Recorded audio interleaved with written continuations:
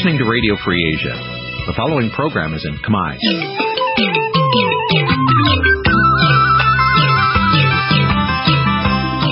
Nǐ chi càm bi tiệp xáy vệt chiu a zì sê réy នេះជាកម្មវិធីផ្សាយរបស់ Vithu Azisari ជាភាសាខ្មែរ វត្តជូអាស៊ីសេរីសូមស្វាគមន៍លោកអ្នកនាងទាំងអស់ពីរដ្ឋធានី Washington នៃសហរដ្ឋអាមេរិក ចា៎នាងខ្ញុំម៉ៅសុធានីសូមជម្រាបសួរលោកអ្នកនាងកញ្ញាអ្នកស្ដាប់វិទ្យុអសីសេរីជាទីមេត្រី យើងខ្ញុំសូមជូនកម្មវិធីផ្សាយសម្រាប់ព្រឹកថ្ងៃពុធពីកើតខែមិញឆ្នាំមមីឆស័កពុទ្ធសករាជ2558ហើយដល់ត្រូវនឹងថ្ងៃទី21ខែមករាគ្រិស្តសករាជ2015ចា៎ជាកិច្ចចាប់ផ្ដើមនេះនាងខ្ញុំសូមអញ្ជើញលោកអ្នកនាងកញ្ញាស្ដាប់ព័ត៌មានប្រចាំថ្ងៃ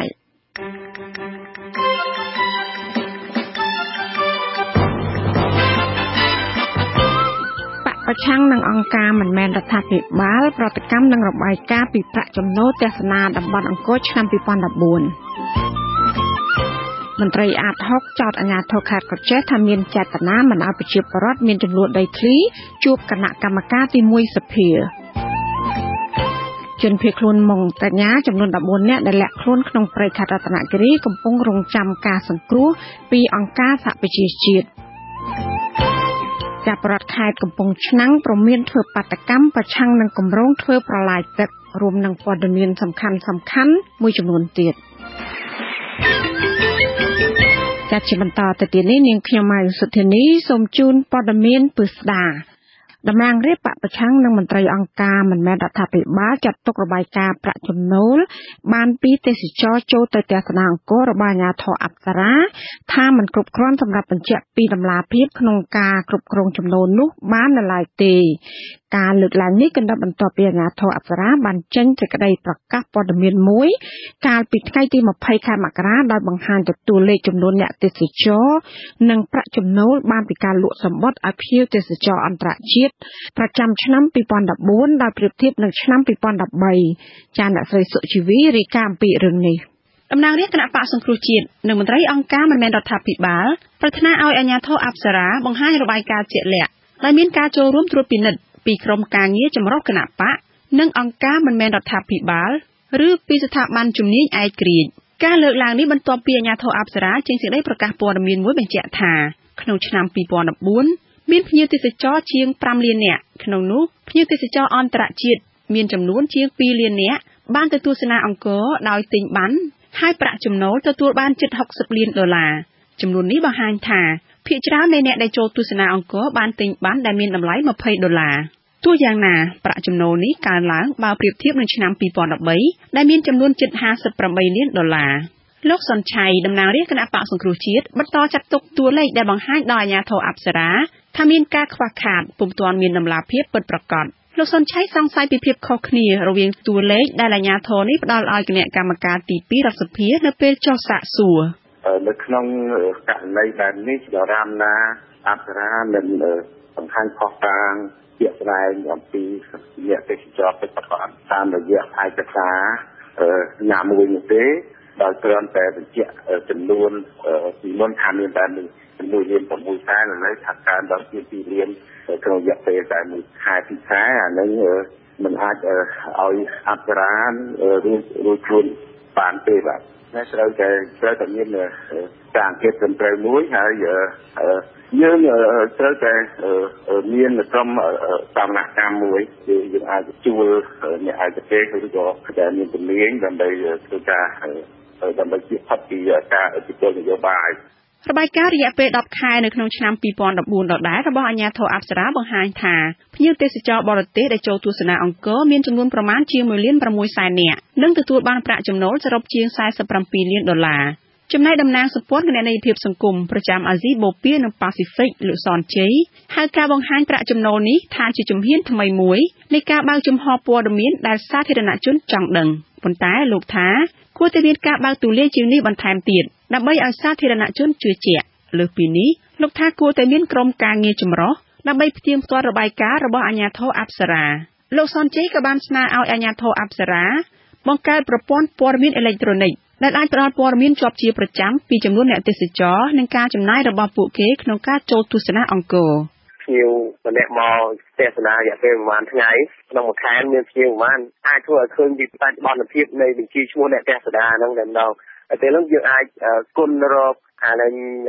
ប្រាក់ចំណូលហ្នឹងឃើញហើយ ពេលនោះវានឹងអាចជួយយើងអាចដោះស្រាយការមន្ទិលសៅមកពីអ្នកខ្វល់អភិបាលកិច្ចពីពីបរិឆាំងជាពិសេសគឺប្រជាពលរដ្ឋកម្ពុជានឹងមានអរិញការទុកចិត្តអំពីប្រព័ន្ធគ្រប់គ្រងទិន្នន័យថ្មីមួយហ្នឹងខ្ញុំខ្ញុំជឿថាមិនមិនពិបាកគួរទេនៅពេលដែលឆន្ទៈមានបទប្រកាសនោះអនុប្រធានគណៈកម្មការអាជ្ញាធរធនាគារនិងសាវនកម្មនៃរដ្ឋសភាលោកសុនឆៃធ្លាប់លើកឡើងថាភ្ញៀវទេសចរដែលចូលទស្សនាអង្គរក្នុងឆ្នាំ2014មានប្រហែល3លាននាក់ ហើយភ្ញៀវភាគច្រើនទិញបានចូលទស្សនាអង្គរក្នុងតម្លៃ40ដុល្លារប៉ុន្តែការអះអាងនោះត្រូវបានអាជ្ញាធរអប្សរាច្រានចោលនិងចាត់ទុកថាជាការមូលបង្កាច់ការពិតគ្មានមូលដ្ឋានច្បាស់លាស់ដែលធ្វើឲ្យប៉ះពាល់ធ្ងន់ធ្ងរដល់កិត្តិយសភាពនិងភាពត្រឹមត្រូវក្នុងការបំពេញបេសកកម្មរបស់អាជ្ញាធរអប្សរានាងខ្ញុំសុជីវីវិទ្យុអាស៊ីសេរីភ្នំពេញ ចាចំណែកក្រុមអង្គការសង្គមស៊ីវិលដែលតាមដានប្រព័ន្ធបោះឆ្នោតនៅកម្ពុជា ប្រតិកម្មលើសេចក្តីព្រាងច្បាប់ស្តីពីការបោះឆ្នោតគោលជបថ្មីត្រង់ចំណុចហាមឃាត់មិនឲ្យអង្គការសង្គមស៊ីវិលបញ្ចេញមតិយោបល់ឬគុណប្រឆាំងគោលនយោបាយរបស់គណៈបកក្នុងថ្ងៃឃោសនាបោះឆ្នោតបញ្ហានេះសង្គមស៊ីវិលចាត់ទុកថាគឺជាសេចក្តីព្រាងមួយនាំឲ្យប៉ះពាល់ដល់សេរីភាពនៃការបញ្ចេញមតិធ្ងន់ធ្ងរលោកមុំនិរតរាយការណ៍ព័ត៌មាននេះ ក្រុមអង្គការសង្គមស៊ីវិលចាត់ទុកថាការពិភាក្សាកែតម្រង់សេចក្តីព្រាងច្បាប់បោះឆ្នោតរបស់ក្រុមការងារគណៈបកសង្គ្រោះជាតិនិងគណៈបកប្រជាជនកម្ពុជាបច្ចុប្បន្ននេះហាក់ដូចជារុញច្រានស្ថានភាពប្រទេសកម្ពុជាឲ្យដើរថយក្រោយទៅវិញក្នុងបទអន្តរាគមរបស់លោកគួយប៊ុនរឿនសហប្រធាននៃក្រុមចរចាមកពីខាងគណៈបកសង្គ្រោះជាតិឲ្យដឹងការទីព្រឹកថ្ងៃទី20មករាថាថ្មីបើកិច្ចពិគ្រោះយោបល់លើសេចក្តីព្រាងច្បាប់ស្តីពីការបោះឆ្នោតថ្មីនេះកំពុងតែដំណើរការក៏ដោយ ក៏ប៉ុន្តែខ្លឹមសារច្បាប់ជាច្រើនគណៈបកនយោបាយទាំងពីរនៅមិនទាន់រកចំណុចរួមបាននៅឡើយទេបើតាមលោកគួយប៊ុនរឿនខ្លឹមសារដែលបន្តខ្វែងគំនិតគ្នានៅពេលនេះរួមមានថ្ងៃឃោសនាបោះឆ្នោតបញ្ជីចុះឈ្មោះបោះឆ្នោតកម្រិតនៃប្រព័ន្ធផ្សព្វផ្សាយទួនាទីរបស់កងកម្លាំងប្រដាប់អាវុធនិងមន្ត្រីតុលាការជាពិសេសនោះចុងក្រោយគឺខ្លឹមសារនៃច្បាប់រដ្ឋបတ်មិនអោយអង្គការសង្គមស៊ីវិលរិះគន់លើគោលនយោបាយរបស់គណៈបកក្នុងថ្ងៃឃោសនាបោះឆ្នោត លោកព្រៀបក៏នាយកប្រតិបត្តិអង្គការដំឡាភិបកម្ពុជាចាត់ទុកថាការហាមប្រាមមិនអោយអង្គការមិនមែនរដ្ឋាភិបាលរិះគន់គោលនយោបាយរបស់គណៈបកក្នុងថ្ងៃឃោសនាបោះឆ្នោតគឺជាការបង្រួមសេរីភាពបញ្ចេញមតិ ថ្លែងក្នុងវេទិកាតុកមូលស្ដីពីការឃោសនាបោះឆ្នោតនិងអនុសាសន៍នៅសន្តាគារ Imperial លោកព្រៀបក៏និយាយថាបើធ្វើអ្នកនយោបាយហើយខ្លាចការរិះគន់គួរឈប់ធ្វើនយោបាយហើយទៅប្រកបអាជីវកម្មវិញល្អជាងអ្នកនយោបាយណាដែលរសើបខ្លាំងមិនអាចទទួលយកការរិះគន់បែបនឹងបានទេខ្ញុំថាគួរតែកុំធ្វើអ្នកនយោបាយគឺធ្វើកិច្ចការងារផ្សេងទៅធ្វើជាសហគ្រិន CEO ក្រុមហ៊ុនឬក៏ ធ្វើជាប្រជារាស្ត្រសាមញ្ញធម្មតាកុំចង់ធ្វើអ្នកនយោបាយដែលជា public figure ទូទៅគឺត្រូវតែមានណាចំណុចហ្នឹងក្រុមការងារចរចារបស់គណៈបកនយោបាយទាំងពីរដឹងថាកិច្ចការដែលខ្វែងគំនិតគ្នាមិនអាចរកចំណុចរួមបានគឺទុកឲ្យមានដឹកនាំធ្វើសេចក្តីសម្រេចចុងក្រោយពាក់ព័ន្ធរឿងនេះលោកនាយករដ្ឋមន្ត្រីហ៊ុនសែនប្រមានកាលពីថ្ងៃទី19មករាថាបើចំណុចណាមួយក្រុមការងារជំនាញនៅមិនអាចចុះសម្រុងនឹងគ្នាទេទុកកិច្ចការនេះឲ្យសភាជាអ្នកអនុម័តវិញ លោកបន្តថាលោកលែងខ្វល់លើរឿងច្បាប់បោះឆ្នោតថ្មីនេះហើយមិនតាន់កាន់អំណាចផងធ្វើប៉ុណ្ណឹងទៅហើយប្រាច់ការប៉ុណ្ណឹងទៅហើយតម្រាំកាន់អំណាចតើគេធ្វើអីទៀតគេធ្វើអីទៀតមើលល្មមបានទេឥឡូវអត់ទេលេងគ្នានៅក្នុងសភាសម្លេងយើងភាច្រើនអត់មានស្អីទៅញ៉ាអាច្បាប់បោះឆ្នោតមិនបោះឆ្នោតអាធ្វើតន់តន់ទៅហើយទៅបើលោកឯងដើរចេញពីការស្រោះស្រួលហើយ ពេលវេលានៅកោកនាំវាទៅណាទៅណីបានអស់ត្រឡប់មកវិញបខំលោកគុលបញ្ញានាយកប្រតិបត្តិនៃគណៈកម្មាធិការដើម្បីការបោះឆ្នោតដោយសេរីនិងយុត្តិធម៌នៅកម្ពុជាហៅកាត់ថា Confrel យល់ឃើញថាការបង្កើតគណៈកម្មការដែលមានផលប្រយោជន៍រៀងៗខ្លួននេះនឹងពុំមែនជាយន្តការដោះស្រាយល្អប្រសើរឡើយលោកថ្លែងបន្តថាជាគំរូនៅក្នុងប្រទេសដែលប្រកាន់លទ្ធិប្រជាធិបតេយ្យពេញលេញជាមធ្យោបាយការបង្កើតគណៈកម្មការនេះគឺគេទាមទារឲ្យមានការចូលរួមពីអ្នកជំនាញឯករាជ្យបន្ថែមទៀតនៅប្រទេសវិថាច្រើនដែលខ្ញុំមានពិសោធន៍ទៅចូលរួមសង្កេតការបោះឆ្នោតគេគឺគេបង្កើតជាគណៈកម្មការចម្រុះមួយដែលមានភាគីច្រើននៅក្នុងនឹងព្រោះកុំឲ្យវាមានបញ្ហាទំនាស់ផលប្រយោជន៍អ្នកណាដែលអត់ទាំងបានផលប្រយោជន៍អំពីរឿងការប្រកួតប្រជែងការបោះឆ្នោតហ្នឹងគេឲ្យគាត់ទៅគិតរឿងហ្នឹងជាពិសេសអ្នកឯកទេសដែលមានពិសោធន៍អ្នកជំនាញការសង្គមស៊ីវិលគេចូលគិតរឿងហ្នឹងឲ្យគាត់ឲ្យយោបល់មើលថាថាធ្វើម៉េចថ្លែងក្នុងវេទិការຕົកមូលដែលរៀបចំដោយសម្ព័ន្ធកំណែតម្រង់ការបោះឆ្នោតឬហៅកាត់ថាអឺរ៉ាលោកគួយប៊ុនរឿនអះអាងថា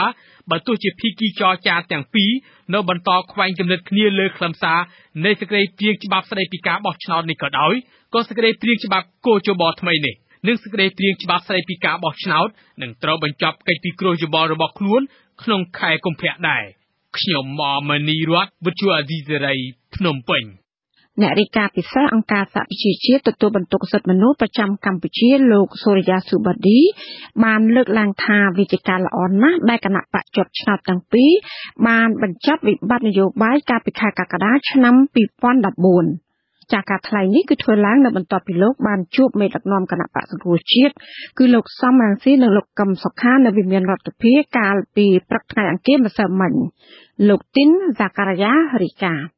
អ្នករាយការណ៍ពិសេសអង្គការសហប្រជាជាតិទទួលបន្ទុកសិទ្ធិមនុស្សប្រចាំនៅកម្ពុជាលោកសូរិយាសូបឌីជំរុញឲ្យគណៈបកទាំងពីរគោរពកិច្ចព្រមព្រៀងបន្ទាប់ពីភាពជាប់គាំងនយោបាយកាលពីថ្ងៃទី22កក្កដានោះដើម្បីអភិវឌ្ឍប្រទេសជាតិលទ្ធិប្រជាធិបតេយ្យនិងការគោរពសិទ្ធិមនុស្សលោកសូរិយាសូបឌីមានប្រសាសន៍បន្ទាប់ពីលោកជួបជាមួយថ្នាក់ដឹកនាំគណៈបកសង្គ្រោះជាតិថាលោកមានភាពរីករាយជាខ្លាំង ចំពោះដំណើរការបន្តនៃវប្បធម៌សន្ទនារវាងគណៈបកសង្គ្រោះជាតិនិងគណៈបកប្រជាជនកម្ពុជាដែលជំរុញឲ្យស្ថានភាពអភិវឌ្ឍប្រទេសជាតិមានការរីកចម្រើនទៅមុខឬកម្ពុជាស្ថិតនៅលើផ្លូវឈានទៅរកលទ្ធិប្រជាធិបតេយ្យលោកបញ្ជាក់ថាកិច្ចព្រមព្រៀងទាំងឡាយលើការកែប្រែរដ្ឋធម្មនុញ្ញ ឬវិសោធនកម្មបទបញ្ជាផ្ទៃក្នុងរបស់សភាដូចជាការបង្កើតឲ្យមានមេដឹកនាំភាគតិចនៅក្នុងសភានិងការអនុវត្តកំណែទម្រង់គណៈកម្មាធិការជាតិរៀបចំការបោះឆ្នោតកោជបឡា I hope nobody will do anything ខ្ញុំសង្ឃឹមថាគ្មាននរណាម្នាក់នឹងដើរលើផ្លូវខុសទៀតឡើយនៅលើការអនុវត្តដំណើរការកំណែទម្រង់នានារវាងគណៈបកទាំងពីរ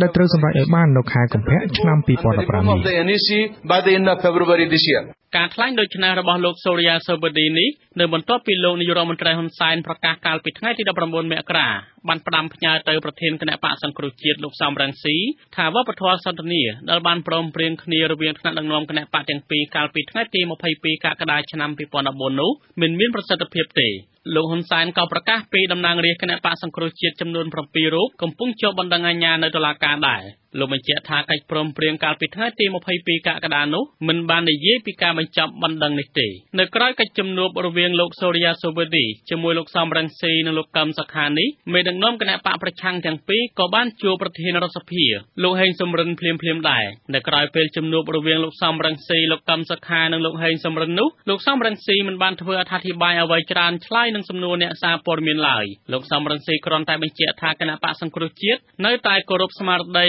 នៃកិច្ចព្រមព្រៀងស្មារតីដែលមានចែងក្នុងច្បាប់និងបទបញ្ជាផ្ទៃក្នុងរបស់សភាជាពិសេសស្ថាប័នសភាខ្ញុំខ្ញុំតែបានទៅជម្រាបសួរសម្ដេចភ័យចម្រិនដល់បាញ់មិញថាធ្វើម៉េចឲ្យស្ថាប័នជាកន្លែងជាចិត្តហើយមានគំនិតស្ថាបនាមួយអាចដូរគំនិតគ្នាធ្វើការជាមួយគ្នានៅរដ្ឋសភា ចំណែកឯលោកហេងសំរិនវិញក៏មិនបានឆ្លើយតបសំណួរអ្វីច្រើនដល់អ្នកសារព័ត៌មានដូចគ្នាលោកបញ្ជាក់យ៉ាងខ្លីថាជំនួបរវាងលោកនិងប្រធានអនុប្រធានគណៈបកសង្គ្រោះជាតិលោកសំរងស៊ីនិងលោកកឹមសុខានោះគឺនិយាយពីស្ថានភាពជំងឺរបស់លោកប៉ែនសវណ្ណតែប៉ុណ្ណោះចំពោះអភ័យឯកសិទ្ធិតំណាងរាស្ត្រគណៈបកសង្គ្រោះជាតិ7រូបដែលលោកហ៊ុនសែនបានលើកឡើងកំពុងជាប់បណ្ដឹងនៅតុលាការនោះវិញលោកហេងសំរិនអះអាងថាជាសិទ្ធិរបស់តុលាការទេអានោះវារឿងតុលាការខ្ញុំអត់មានបទភាពយ៉ាងម៉េចទេ អ្នកខ្លាំមើលផ្នែកអភិវឌ្ឍសង្គមលោកបណ្ឌិតកែមលីមានប្រសាសន៍ថាដើមចំដែលធ្វើឲ្យមេដឹកនាំគណៈបកជាប់ឆ្នោតទាំងពីរបានវាយប្រហារឆ្លងឆ្លើយគ្នាខ្លាំងខ្លាំងចុងក្រោយនេះដោយសារតែគណៈបកទាំងពីរមិនគោរពកិច្ចព្រមព្រៀងដោយយកវប្បធម៌សន្តិនិកជាធំនោះ ដោយសារតែយើងអត់ជជែកគ្នាអំពីបញ្ហាហៅ issue base ហើយការជជែកគ្នាបញ្ហាទាំងគណៈបកប្រឆាំងទាំងគណៈបកកណ្ដាលអំណាចភាគច្រើនជជែកគ្នាយកអាព័ត៌មានដែលជាចាមរាមយកព័ត៌មានអាការសង្ស័យយកព័ត៌មានអាមិនសិតយកមកជជែកដល់អញ្ចឹងអត់ចេះត្រូវគ្នាទេ លោកសូរិយាសុបឌីបញ្ជាក់ថាលោកមើលឃើញថាគណៈបកទាំងពីរកំពុងតែវិវត្តទៅមុខល្អដោយយកវប្បធម៌សន្តិនិកក្នុងការដោះស្រាយបញ្ហាដើម្បីរួបរวมគ្នាអភិវឌ្ឍសេដ្ឋកិច្ចពង្រឹងលទ្ធិប្រជាធិបតេយ្យការធ្វើដូច្នេះដើម្បីឲ្យប្រជាពលរដ្ឋចំណេញទាំងអស់គ្នាខ្ញុំទីនសាការីយ៉ាវិទ្យុអស៊ីសេរីពីទីក្រុងភ្នំពេញអាស៊ីសេរី លោកអ្នកស្ដាប់ជាទីមេត្រីពាក់ព័ន្ធនឹងបញ្ហាដីធ្លីនៅខេត្តកោះចេះវិញមន្ត្រីអង្គការការពារសិទ្ធិមនុស្សអាត6រកឃើញថាអាជ្ញាធរខេត្តមានចេតនាមិនឲ្យប្រជាពលរដ្ឋដែលមានបញ្ហាដីធ្លីជួបជាមួយក្រុមការងារនៃគណៈកម្មការទី1របស់សភាដែលចុះអង្កេតករណីចំនួនដីធ្លីនៅក្នុងខេត្តនេះក៏ប៉ុន្តែអភិបាលរងខេត្តកោះចេះបដិសេធថាលោកមិនបានដឹងអំពីរឿងនេះទេ សូមស្ដាប់សេចក្តីរាយការណ៍របស់លោកប្រាជជេវដូចតទៅ។ ស្របពេលដែលគណៈកម្មការទី1រដ្ឋសភាចុះអង្កេតករណីចំនួនដីធ្លីក្នុងខេត្តក្រចេះមន្ត្រីសិទ្ធិមនុស្សនៃសមាគមអាត់ហុករកឃើញថាអាជ្ញាធរខេត្តក្រចេះបានប្រើវិធីសម្របសម្រួលដោះស្រាយបញ្ហាដីធ្លីជូនពលរដ្ឋព្រោះមិនចង់ឲ្យពលរដ្ឋមួយចំនួនជួបជាមួយក្រុមការងាររបស់សភាមន្ត្រីផ្នែកអង្កេតនៃសមាគមការពារសិទ្ធិមនុស្សអាត់ហុកប្រចាំខេត្តក្រចេះលោកហេងភិរៈឲ្យដឹងថា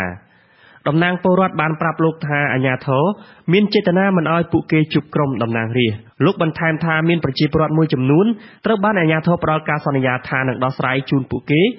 នៅពេលដែលក្រមពលរដ្ឋក្រុងទៅជួបក្រុមការងាររបស់សភាដែលកំពុងចុះអង្កេតករណីដីធ្លីនៅក្នុងខេត្តក្រចេះយើងឃើញថាអាញាធរហាក់ដូចជាចង់បាត់បង់ព័ត៌មានចំនួនដីធ្លីរវាងប្រជាពលរដ្ឋហើយចង់ការពារទុកស្កាត់ជាមុនកុំឲ្យតំណាងជាពលរដ្ឋ នាំយកពាក្យបណ្ដឹងដាក់ជូនទៅតំណាង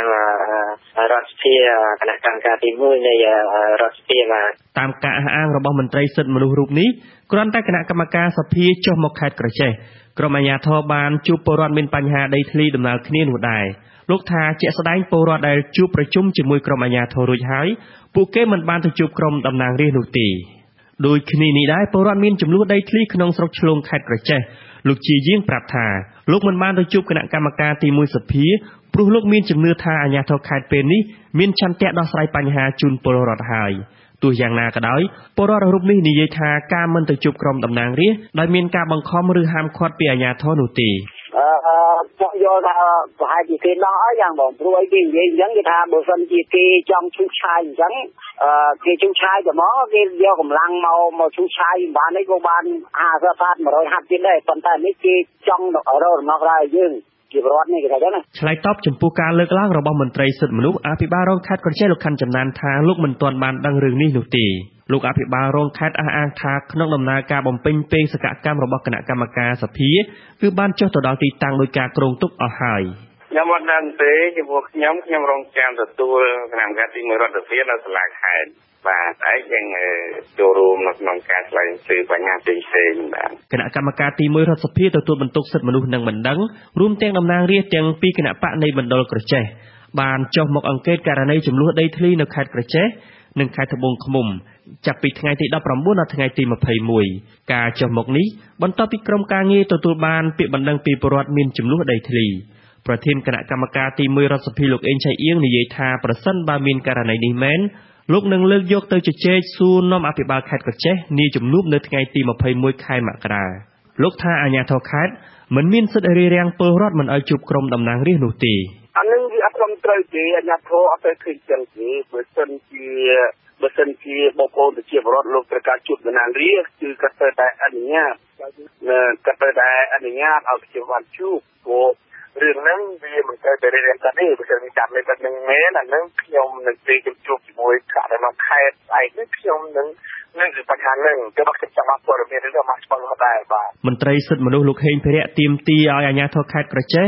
មានឆន្ទៈដោះស្រាយបញ្ហាដីធ្លីជូនពលរដ្ឋដោយស្មារតីទទួលខុសត្រូវ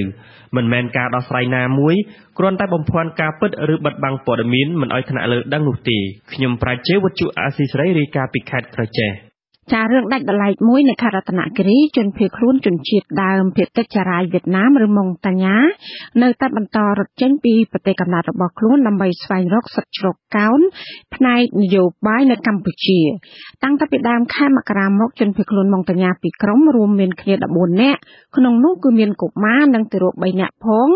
បានលួចឆ្លងដែនមកសំងំលាក់ខ្លួននៅក្នុងព្រៃខេត្តរតនគិរីដើម្បីរងចាំក្រុមសង្គ្រោះរបស់អង្គការសហប្រជាជាតិចាលោករដ្ឋាវិសាលរាយការណ៍ប្រជាពលរដ្ឋខ្មែរមានកំណើតជនជាតិដើមចារាយរស់នៅជាប់ព្រំដែនប្រទេសវៀតណាមក្នុងខេត្តរតនគិរីអំពាវនាវសូមឲ្យក្រុមការងារសង្គ្រោះឧត្តមស្នងការអង្គការសហប្រជាជាតិទទួលបន្ទុកសិទ្ធិមនុស្សនិងជនភៀសខ្លួនប្រញាប់ចាត់វិធានការសង្គ្រោះម៉ុងតេញ៉ាពីរក្រុមពីក្នុងព្រៃខណៈពួកគេបានលាក់ខ្លួនដើម្បីការពារសុវត្ថិភាពខ្លាចអាញាធរកម្ពុជាចាប់បញ្ជូនពួកគេទៅឲ្យអាញាធរវៀតណាមវិញ ការអំពាវនាវនេះធ្វើឡើងបន្ទាប់ពីអ្នកភូមិខ្មែររូបនេះបានប្រទះឃើញជនភៀសខ្លួនវៀតណាមមួយក្រុមមានគ្នា5នាក់បានរត់មកសំងំក្នុងព្រៃតាំងពីថ្ងៃទី3ខែមករានិងមួយក្រុមទៀតមានគ្នា9នាក់ក្នុងនោះមានកុមារអាយុចន្លោះ4ទៅ6ឆ្នាំនិងទារកអាយុ4ខែម្នាក់បានរត់មកសំងំលាក់ខ្លួនក្នុងព្រៃដូចគ្នាកាលពីថ្ងៃទី17ខែមករាកន្លងទៅ បរិសុជនជាតិដើមភាគតិចចរាយខ្មែរដែលអះអាងថាខ្លួនជាអ្នកជួយទំនុកបំរុងជនភៀសខ្លួនទាំងពីរក្រុមសូមមិនឲ្យបញ្ចេញឈ្មោះនៅថ្ងៃទី20ខែមករារៀបរាប់ថាជនភៀសខ្លួនទាំងពីរក្រុមមានសុវត្ថិភាពនៅឡើយបើទោះបីក្រុមសមត្ថកិច្ចនៅមូលដ្ឋានកំពុងរុករកកន្លែងលាក់ខ្លួនពួកគេយ៉ាងណាក្តីលោកបារម្ភថាប្រសិនការសង្គ្រោះអូបន្លាយូរតទៅទៀតសមត្ថកិច្ចអាចរកឃើញកន្លែងលាក់ខ្លួនពួកគេហើយចាប់បញ្ជូនទៅឲ្យអាជ្ញាធរវៀតណាមវិញម្យ៉ាងវិញទៀតការរស់នៅក្នុងព្រៃយូរថ្ងៃពួកគេនឹងប្រឈមទៅនឹងបញ្ហាសុខភាពជាពិសេសកុមារនិងទារកដោយសារខ្វះទឹកស្បៀងអាហារនិងជំរកស្នាក់នៅគេនៅកំពុងទៅរនៅតាមព្រៃតាមដីឥឡូវគេកំពុងធ្វើការដូចខាងអង្គការកុំឲ្យសង្គ្រោះគាត់ចេញពីព្រៃដល់ទៅគាត់សម្បាក់ពីគ្នាឲ្យឲ្យសង្គ្រោះគាត់ឲ្យចាប់តែទិនវត្តមានជនភៀសខ្លួនមកតញ្ញាពីក្រុមថ្មីនេះអ្នកនាំពាក្យសាលាខេត្តរតនគិរីលោកញ៉ែមសំអឿនបដិសេធថាលោកមិនមានព័ត៌មានជាក់លាក់ពីករណីនេះទេលោកទទួលស្គាល់ថាការគិតគូរពីសុវត្ថិភាពជនភៀសខ្លួនគឺជាបញ្ហាសំខាន់ក៏ប៉ុន្តែការសម្រេចតេតិនបញ្ហាជនភៀសខ្លួនអាស្រ័យលើសម័យក្រសួងជាអាណាព្យាបាលលើអាជ្ញាធរខេត្តនឹងខាងស្ថានទូតអាមេរិកបានតាក់ទងសួរមកខ្ញុំដែរហើយគេថាខាង UN ACR ចង់ចាត់តែជាមួយខេត្តទៅចឹងគាត់ចង់ចាត់តែយ៉ាងម៉េចម៉េចសូមឲ្យគាត់ជួបជាមួយខាងក្រសួងតេតិនការអំពាវនាវនេះដែរមន្ត្រីការិយាល័យសិទ្ធិមនុស្សអង្គការសហប្រជាជាតិសូមមិនឲ្យបញ្ចេញឈ្មោះឲ្យដឹងថាមន្ត្រីក្រសួងមហាផ្ទៃមិនទាន់ឆ្លើយតបលិខិតសុំកិច្ចសហការសង្គ្រោះជនភៀសខ្លួនថ្មីនេះពីការិយាល័យសិទ្ធិមនុស្សអង្គការសហប្រជាជាតិនៅឡើយ មន្ត្រីខ្លំមើលសិទ្ធិមនុស្សសមាគមអាត6ខេត្តរតនគិរីលោកឆៃធីក៏សម្គាល់ថាការិយាល័យលោកបានផ្ដល់ព័ត៌មាននិងសុំកិច្ចអន្តរាគមន៍ទៅការិយាល័យសិទ្ធិមនុស្សអង្គការសហប្រជាជាតិរួចហើយដោយឡែកមន្ត្រីអាជ្ញាធរខេត្តមិនមានចេតនាទទួលស្គាល់ជនជាតិដើមភាគតិចវៀតណាមទាំងនោះថាជាអ្នកស្វែងរកសិទ្ធិជ្រកកោនផ្នែកនយោបាយឡើយជាកត្តាចាំបាច់ត្រូវតែ UN ព្យាយាមខិតខំយ៉ាងណាជាមួយរដ្ឋាភិបាលជាពិសេសក្រសួងមហាផ្ទៃដើម្បីចោះមកជួយសង្គ្រោះគាត់ឲ្យទាន់ពេលទោះជាយ៉ាងនេះក្តីមន្ត្រីសម្របសម្រួលអង្គការលីកាដូខេត្តរតនគិរីលោកជេវសុភីថ្លែងថារាជរដ្ឋាភិបាលកម្ពុជាមានកាតព្វកិច្ចអនុវត្តកតិកាសញ្ញាស្តីពីជនភៀសខ្លួនចំណែកពលរដ្ឋខ្មែរក៏មានភារកិច្ចផ្នែកមនុស្សធម៌សម្រាប់ជនភៀសខ្លួនគ្រប់រូបកម្ពុជាយើងយើងជាប្រទេសប្រទេសថៃនៅលើកិច្ចការពីសិទ្ធិជនជាប់កោនរបស់ជនភៀសខ្លួនជាពលរដ្ឋគឺមានកាតព្វកិច្ចជួយជាពិសេសគឺគាត់ផ្ដល់ទៅលើស្បៀងអាហារឆ្នាំនិងកៅអីដែរកាលពីខែធ្នូឆ្នាំ2014 ក្រុមការងារសិទ្ធិមនុស្សឧត្តមស្នងការអង្គការសហប្រជាជាតិការិយាល័យនៅកម្ពុជាសហការជាមួយមន្ត្រីនាយកដ្ឋានជនភៀសខ្លួននៃអគ្គនាយកដ្ឋានអន្តរប្រវេសក្រសួងមហាផ្ទៃទទួលយកមុងតញ្ញា13នាក់ពីស្រុកលំផាត់ខេត្តរតនគិរីនាំមកកាន់ទីក្រុងភ្នំពេញបច្ចុប្បន្នពួកគេបានចុះឈ្មោះនិងកំពុងអនុវត្តនីតិវិធីកំណត់អត្តសញ្ញាណជាជនភៀសខ្លួនខ្ញុំរដ្ឋាវិសាលវិទ្យុអាស៊ីសេរីរាយការណ៍ពីខេត្តរតនគិរី ចាលោកនាងកញ្ញាកំពុងស្ដាប់កម្មវិធីផ្សាយរបស់វិទ្យុអសីស្រីពីរដ្ឋធានី Washington ក្រុមគ្រួសារមួយដែលមានសមាជិកទាំងអស់ជាង50នាក់មានផ្ទុកមេរោគអេដចំនួន16នាក់ក្រុមគ្រួសារនេះគឺស្ថិតនៅក្នុងចំណោមប្រជាប្រដ្ឋ238នាក់នៅឃុំរកាស្រុកសង្កែខេត្តបាត់ដំបងដែលគេរកឃើញថាមានផ្ទុកមេរោគអេដចាប់តាំងពីពាក់កណ្ដាលខែធ្នូឆ្នាំ2014មក តើបច្ចុប្បន្ននេះសុខភាពនិងជីវភាពគ្រួសារមួយនេះយ៉ាងណាហើយលោកណានៀងនឹងបានស្ដាប់សេចក្តីរាយការណ៍ពុស្ដាមពីរឿងនេះនាពេលបន្តិចទៀតនេះ លោកអ្នកស្ដាប់ជាទីមេត្រីអាជ្ញាធរមានសមត្ថកិច្ចនៅខេត្តកំពង់ធំមិនទាន់អាចកំណត់មុខសញ្ញាជនល្មើសលើករណីឃាតកម្មប្រពន្ធសកម្មជនគណៈបក្សប្រជាជាតិនៅឃុំចាងដើងស្រុកបារាយបាននៅឡើយទេយ៉ាងណាក៏ដោយក្រុមគ្រួសារសពយល់ថាអាចជារឿងគំនុំនិងស្នើសុំអាជ្ញាធរស្វែងរកជនដៃដល់យកមកដណ្ដៀទោសលោកសុតសុខប្រាថ្នារាយការណ៍ព័ត៌មាននេះ អាជ្ញាធរមូលដ្ឋាននិងអាជ្ញាធរស្រុកបារាយខេត្តកំពង់ធំកំពុងប្រមូលភស្តុតាងជំវិញករណីឃាតកម្មលើប្រពន្ធសកម្មជនគណបកសង្គ្រោះជាតិកាលពីយប់ថ្ងៃទី18មករាដើម្បីឈានទៅកំណត់មុខសញ្ញាអាជ្ញាធរបញ្ជាក់ថាករណីចាក់សម្លាប់ប្រពន្ធសកម្មជនគណបកសង្គ្រោះជាតិគឺមិនពាក់ព័ន្ធទៅនឹងរឿងនយោបាយទេតែអាចជារឿងគំនុំទៅវិញ។ ប្រពន្ធលោកហ៊ូយឿនជាសកម្មជននិងជាបេក្ខជនឈរឈ្មោះឃុំចាងដើងកាលពីពេលកន្លងទៅគឺអ្នកស្រីសៀងកំហូអាយុ65ឆ្នាំត្រូវជន់មិនស្គាល់មុខចាក់សម្លាប់កាលពីយប់ថ្ងៃទី18មករាជាង10កំបិតគណៈអ្នកស្រីកំពុងសម្រាននៅផ្ទះជាមួយចៅចៅនាយនគរបាលប៉ុស្តិ៍ឃុំចាងដើងលោកខៀងរិទ្ធិរដ្ឋបញ្ជាក់ថា ជនរងគ្រោះស្លាប់ភ្លាមៗបន្ទាប់ពីជនល្មើសឡើងទៅលើផ្ទះចាក់ចំនួន15កំបិតក្រោយពេលបាញ់ជំពាមកៅស៊ូដែលមានក្របព្រួញដែលស្រួចមិនត្រូវចំជនរងគ្រោះប៉ុន្តែចំពោះរឿងផ្សេងលោកមិនទាន់ជម្រាបជូនបានទេពីព្រោះសមត្ថកិច្ចកំពុងស៊ើបអង្កេតព្រោះនេះមិនអាចបកស្រាយរឿងនេះទេព្រោះយើងកំពុងធ្វើការអង្កេតនៅពេលនេះខ្ញុំកំពុងនៅជុំវិញកន្លែងកថាឡើយទេព្រោះទៅពេទ្យគ្រប់កន្លែងដោយឡែកអធិការនគរបាលស្រុកបារាយលោកសួងខេងមានប្រសាសន៍ថាករណីនេះអាចជារឿងគំនុំមិនមែនជារឿងនយោបាយឡើយ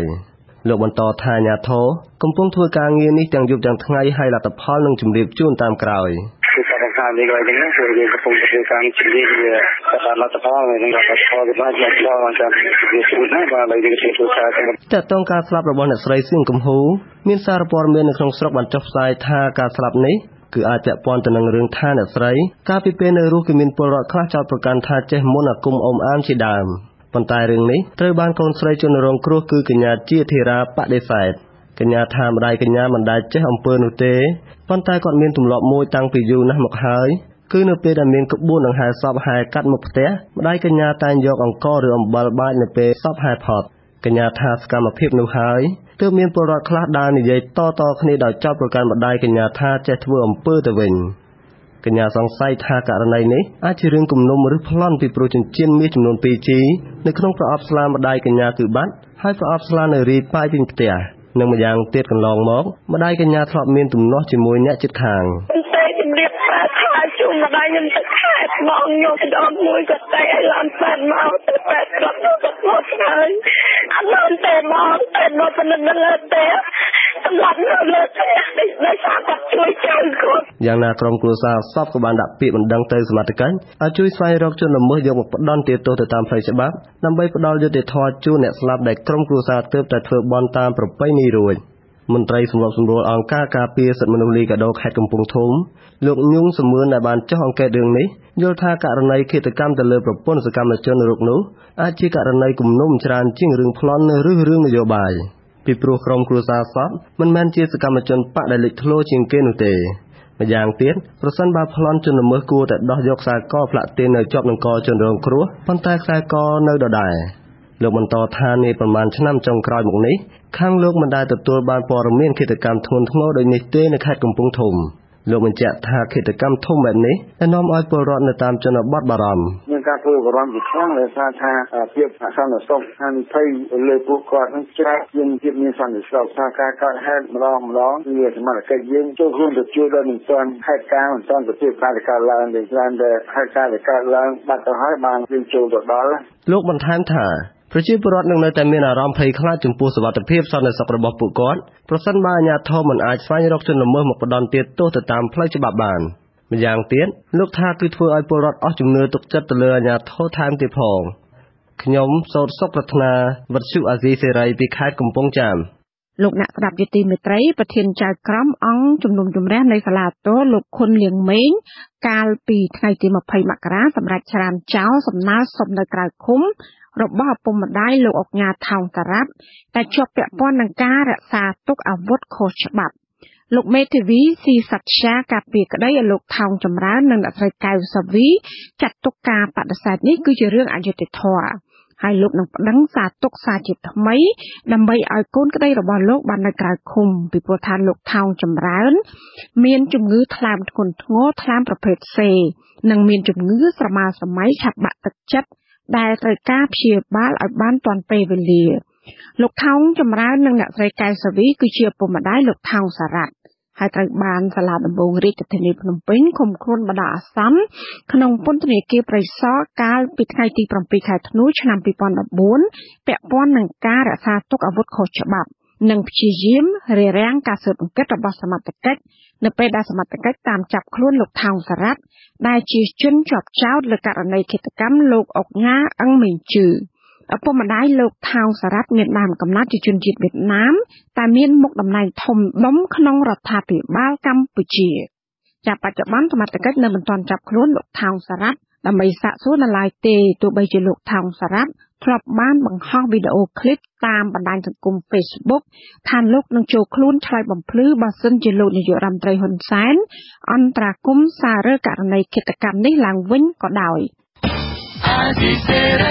ចាប់ពីខេត្តកំពង់ឆ្នាំងនៅវិញតំណាងសហគមន៍និងប្រជាពលរដ្ឋរស់នៅស្រុកបរិបូរកំពុងស្វែងរកជំនួយប្រឹក្សាផ្លូវច្បាប់ និងព្រមានធ្វើបាតកម្មប្រឆាំងនឹងគម្រោងស្ថាបនាប្រព័ន្ធធារាសាស្ត្រស្ទឹងអាចាងចាគម្រោងធ្វើបាតកម្មនេះគឺនៅបន្ទាប់ពីអ្នកភូមិនៅឃុំពេជ្រចង្វាជាង60នាក់បានលើកគ្នាទៅជួបអាជ្ញាធរឃុំកាលពីថ្ងៃអង្គារម្សិលមិញដើម្បីសួរនាំរឿងសំណងផលប៉ះពាល់នៃគម្រោងសាងសង់ប្រព័ន្ធធារាសាស្ត្រនេះ ក៏ប៉ុន្តែมันបានលទ្ធផល លោកចិនជាថារាយការណ៍ព័ត៌មាននេះ ប្រជាពលរដ្ឋរស់នៅភូមិតាំងថ្នឹមភូមិតាំងត្រពាំងនិងភូមិលវានៃឃុំពេជ្រចង្វាខកចាត់ចំពោះអាជ្ញាធរមូលដ្ឋាន ដោយសារការទទួលខុសត្រូវរបស់អាជ្ញាធរមិនឆ្លើយតបនឹងទុកកង្វល់ឬតម្រូវការរបស់ប្រជាពលរដ្ឋខ្លួនក្រមពលរដ្ឋបញ្ជាក់ថាអាជ្ញាធរថ្នាក់មូលដ្ឋាន មិនដឹងអំពីគម្រោងនេះច្បាស់នោះទេហើយពលរដ្ឋចង់ឲ្យមានវេទិកាបើកទូលាយមួយ ហើយហៅអ្នកប៉ះពាល់ទាំង8ឃុំមកចូលរួមជជែកគ្នា តំណាងពលរដ្ឋភូមិលវាលោកឈនញមានប្រសាសន៍ថា គ្រួសាររបស់លោកនិងអ្នកភូមិដែលរងផលប៉ះពាល់ពីគម្រោងនេះកំពុងខ្វាយខ្វល់ចិត្តហើយពលរដ្ឋដែលទៅជួបអាជ្ញាធរឃុំបច្ចុងវានៅព្រឹកថ្ងៃទី20ខែមករាគឺចង់ដឹងអំពីរបៀបនៃការផ្ដល់សំណងនិងផែនការជាក់លាក់អំពីគម្រោងធ្វើប្រឡាយទឹកប៉ុន្តែមេឃុំអត់ដឹងរឿងនេះច្បាស់ហើយក៏រត់ទៅរកអាជ្ញាធរថ្នាក់ខេត្តបំភ្លឺដែរលោកបន្តថាប្រសិនបើរដ្ឋាភិបាលឬអាជ្ញាធរអនុវត្តគម្រោងប្រព័ន្ធធារាសាស្ត្រនេះប៉ះពាល់ដល់ដីធ្លី និងផ្ទះសម្បែងប្រជាពលរដ្ឋដោយមិនបានផ្ដល់សំណងសមរម្យជាមុននោះទេ អាចនឹងមានបាតុកម្មកើតឡើង។ពលរដ្ឋក៏ដើរគិតគ្នាមួយសហគមន៍នឹងដើម្បីតវ៉ាថាជាថ្មីវិញក្នុងលក្ខណៈនឹងវាចង់ធ្វើត្រង់ទីធំហើយហើយចាំមើលខ្ញុំវាមិនទាន់ទទួលផែនការនឹងបានដែរជាពលរដ្ឋនោះចង់ទៅធ្វើឲ្យធំឲ្យដឹងថាបើសិនជាសំឡងឲ្យគាត់ឲ្យសមរម្យតែមានខ្លះគេថាចង់បានដីចង់អីវិញចឹងវាអត់ទាន់ត្រូវគ្នាអញ្ចឹងខ្ញុំ សំណូមពរឲ្យក្រសួងអសីសេរីនឹងជួយចាក់ផ្សាយឲ្យលេចលឺដល់អាជ្ញាធរផងជាពលរដ្ឋគាត់មិនចង់ឲ្យគេអភិវឌ្ឍគ្មានសំណងអីឲ្យសមរម្យឲ្យគាត់ទេហើយអភិវឌ្ឍនឹងឲ្យមានតាក់ទងជាមួយគាត់និយាយឲ្យគាត់ឲ្យទំទៅប្រជាពលរដ្ឋគាត់មិនទៅយល់ផងចេះពីគេមកធ្វើរកគាត់ចេះតែរត់ឈូឡើងឈូចោះឈូឡើងចុះចោះ ឆ្លើយតបបញ្ហានេះអភិបាលរងខេត្តកំពង់ឆ្នាំងទាំងលោកអ៊ុនសំអល់និងលោកជេញ៉ាន់ដែលជាអ្នកទទួលផែនធនធានទឹកនិងគម្រោងអភិវឌ្ឍនេះអះអាងស្រដៀងគ្នាថាក្រុមការងារបច្ចេកទេសនៅសិក្សានិងធ្វើការងារច្រើនដំណាក់កាលទៀតប៉ុន្តែរឿងក្រុមហ៊ុនដាក់គ្រឿងចាក់ឈូសឆាយព្រៃនិងត្រាស់សេឬធ្វើគំនូសព្រៀងមាត់ប្រឡាយកាលពីថ្ងៃទី18ខែមករាឆ្នាំ2015លោកមិនទាន់ដឹងច្បាស់នៅឡើយទោះយ៉ាងណាលោកជ័យញ៉ាន់បង្ហើបថាសំណូមពររបស់ប្រជាពលរដ្ឋដែលចង់ឲ្យមានវេទិកាពិភាក្សាបើកទូលាយជុំវិញរឿងនេះនៅឃុំទាំង8នៃស្រុកបរិបូរអាចនឹងទៅរួចលុះណាមានការឆ្លងយោបល់ពីអភិបាលនៃគណៈអភិបាលខេត្តឬក្រុមការងារអន្តរក្រសួងលោកធ្លាប់ប្រាប់វិទ្យុអាស៊ីសេរីថានៅក្នុងដំណាក់កាលក្រុមការងារកំពុងសិក្សាមិនទាន់ចប់គេមិនអាចកំណត់តម្លៃនៃសំណងផលប៉ះពាល់បាននោះទេ កាលពីព្រឹកថ្ងៃទី18ខែមករាឆ្នាំ2015តំណាងសហគមន៍និងពលរដ្ឋភូមិតាំងថ្នឹមឃុំបច្ចុងវាស្រុកបរិបូរខេត្តកំពង់ឆ្នាំងជាង10នាក់បានតវ៉ាខាត់គ្រឿងចាក់មួយគ្រឿងដែលឈូសឆាយធ្វើប្រឡាយទឹកប៉ះពាល់ដីធ្លីរបស់ពួកគាត់ រដ្ឋាភិបាលមានគម្រោងអភិវឌ្ឍប្រព័ន្ធធារាសាស្ត្រស្ទឹងអាចាងនៅស្រុកបរិបូរមានប្រឡាយមេមួយខ្សែប្រវែងជិត20គីឡូម៉ែត្រនិងប្រឡាយរងចំនួន10ខ្សែដែលអាចស្រោចស្រពផ្ទៃដីកសិកម្មជាង10000ហិកតានៅឃុំចំនួន10ក្នុងស្រុកបរិបូរនិងស្រុកទឹកផុសខេត្តកំពង់ឆ្នាំងប្រភពព័ត៌មានពីអាជ្ញាធរមូលដ្ឋានខ្លះបញ្ជាក់ថាប្រឡាយមេនេះមានទំហំទទឹង26ម៉ែត្រនិងជម្រៅប្រហែល5ម៉ែត្រស្ថាបនាដោយក្រុមហ៊ុន Sino Hydro ក្នុងទំហំទឹកប្រាក់ជាង43លានដុល្លារជាជំនួយរបស់ប្រទេសចិនហើយត្រូវប្រើរយៈពេល3ឆ្នាំនិងចាប់ផ្ដើមពីឆ្នាំ2015ដល់ឆ្នាំ2018ខ្ញុំបាទចិនជេថាវិទ្យុអាស៊ីសេរីពីខេត្តកំពង់ឆ្នាំងអាស៊ីសេរីចាលោកនាងកញ្ញាទៅបានស្ដាប់ព័ត៌មានប្រចាំថ្ងៃរបស់វិទ្យុអសីស្រីដែលរៀបចំជូននៅនាងខ្ញុំម៉ៅសុធានីសូមលោកនាងរងចាំស្ដាប់កម្មវិធីផ្សាយរបស់យើងជាបន្តនាពេលបន្តិចទៀតនេះ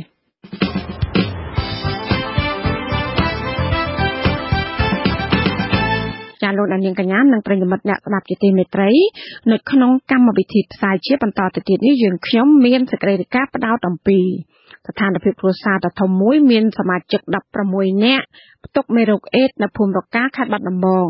នីតិសាសនានិងសង្គមនឹងអធិប្បាយជូន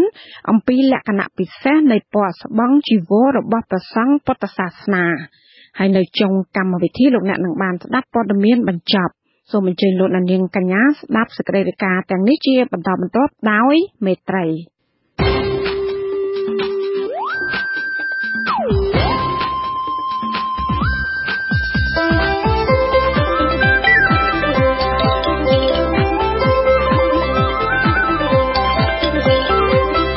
សេចក្តីរាយការណ៍ពិស្ដា